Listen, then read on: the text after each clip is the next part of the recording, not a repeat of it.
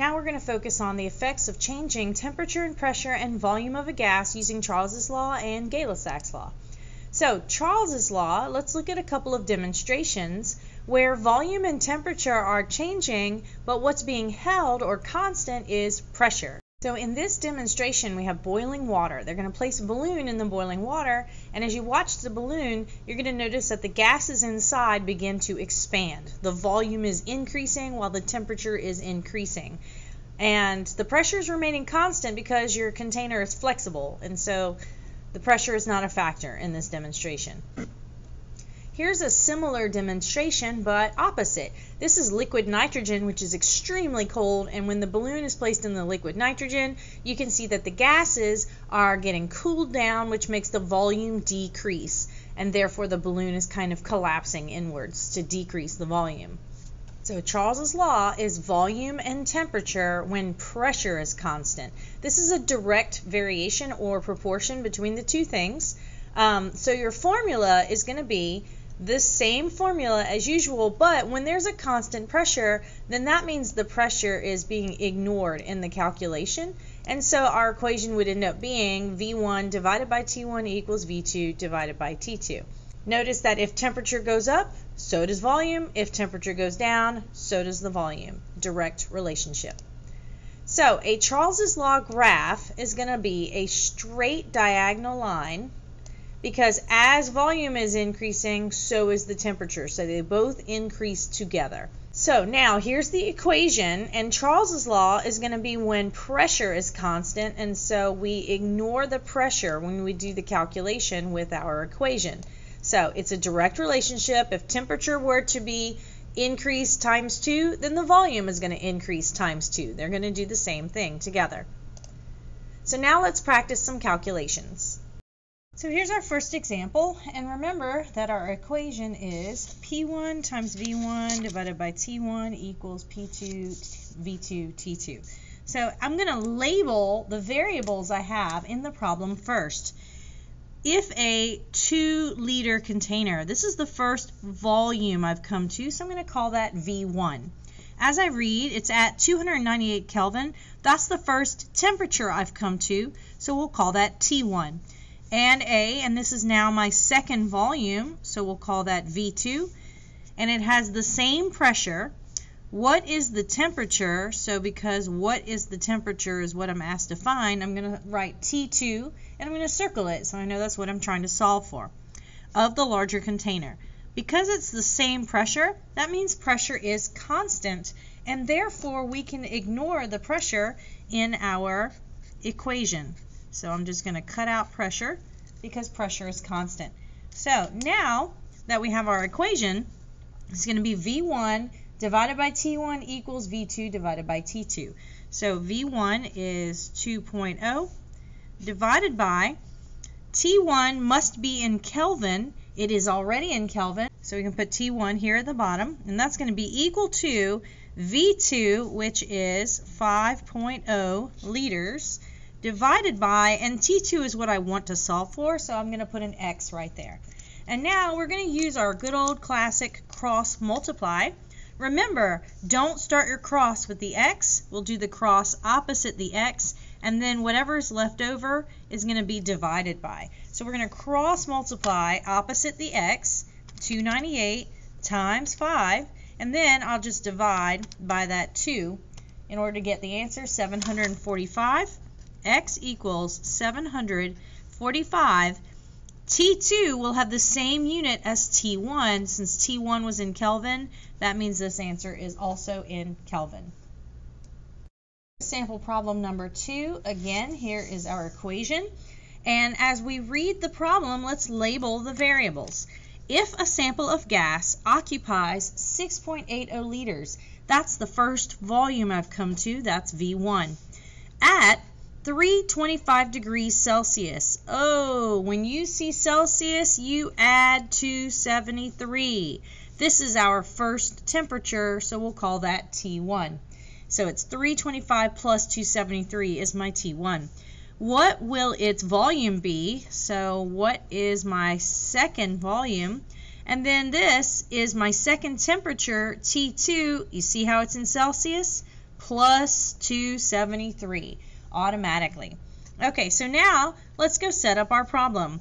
Remember, we have note says pressure does not change, and they didn't give us any pressures, so that means that pressure is not a factor. So we'll just ignore that.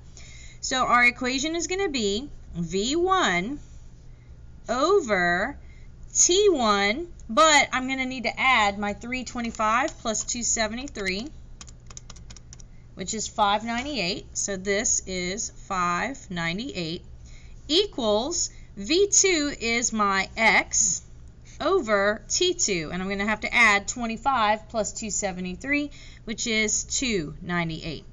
So now that I have my problem set up, I can use cross multiplication to solve it. Remember to start your cross not at the x. So we're going to multiply these two numbers, and then the last number left we're going to divide by. 6.80 times 298 divided by 598 equals 3.39. So x equals 3.39. Whatever the unit of V1 is, is going to be the unit of V2. And V1 was in liters, and so that's how we know this is also in liters. This law is called Gay-Lussac's law, and that is temperature and pressure when volume is being held constant. So when you see words like rigid container, that means that the volume can't change. It's like a steel container, or it's made of metal, or it's something that's not flexible like a balloon. So let's look at some demonstrations. So if you'll notice, they have the candles lit and the beaker is on top. So the air is being heated, which is making the pressure increase, pushing the water at the bottom. But as the candle goes out, now the air is cooling, the temperature is decreasing, so the pressure is also decreasing, which is what's causing the water level to rise inside of the beaker. Here's another example where um, this is a steel ball that has a gas inside of it, and so he's heating the gas. It's a rigid container, and then you can see on the pressure gauge that the pressure is rising as the temperature of the gas inside is increasing. Of course, if he heats it too far, then eventually there is a danger of the steel ball exploding. But of course, he won't let it go that far. So Gay-Lussac's law is between pressure and temperature, and it's at a constant volume. Uh, the pressure of a fixed mass of gas varies directly, so these two things are direct with each other, which means as you decrease one, you decrease the other, or as you increase one, you increase the other. Here is the formula, and because it has a constant volume, that means we ignore the volume in the formula, and so that gives us P1 over T1 equals P2 over T2. So we'll do some calculations now. So now let's look at some Gay-Lussac's laws calculations where, of course, we're going to use this equation, and let's label our variables in the problem. The gas in a used aerosol can is at a pressure of 1 atmosphere. So this is my P1. And it's at this temperature, that's going to be T1, remember, Celsius plus 273. If the can is thrown into a fire, what will be the pressure? So what will be the pressure? P2 is what I'm solving for. And then when the temperature reaches, so here's our T2, remember it's Celsius plus 273. So what you'll notice is we have two pressures, two temperatures. We have no volumes. So that means that volume is the constant in this problem, and that's how we know that it's a Gay-Lussac's law problem. So now I'm going to set up my equation. It's going to be P1 over T1 equals P2 over T2. And so my P1 is 1.00 over my T1 is 25 plus 273, which is 298, equals P2 is what I don't know, so I'm going to call that X, and then put it over, and this 928 plus 273 is going to be 1201 Kelvin. All right, so now I have my equation set up. I can calculate my answer, and I'm going to use cross multiplication.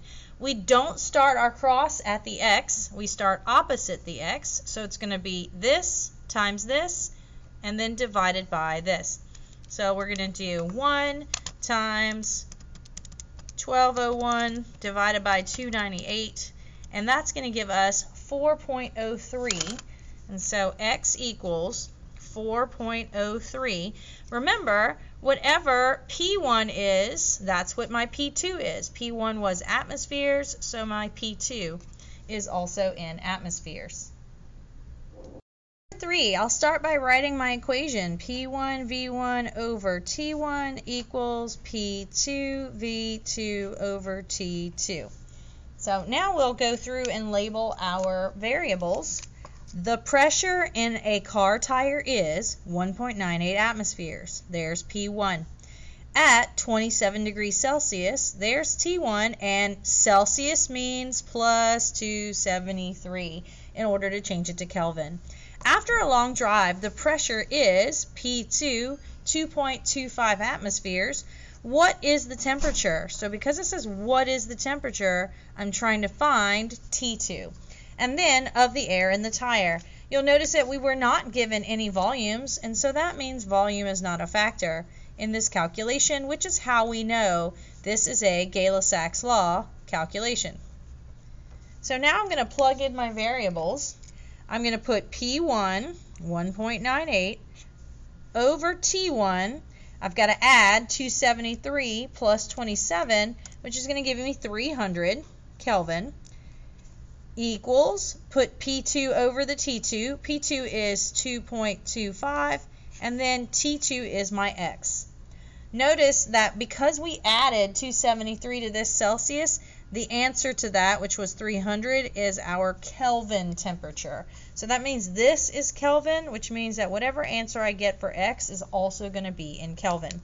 So let's go ahead and calculate this you're going to start your cross, not with your x, opposite the x. So I'm going to cross multiply there, and then that leaves this, I'm going to divide by 1.98. So 300 times 2.25 divided by 1.98, and we get 341.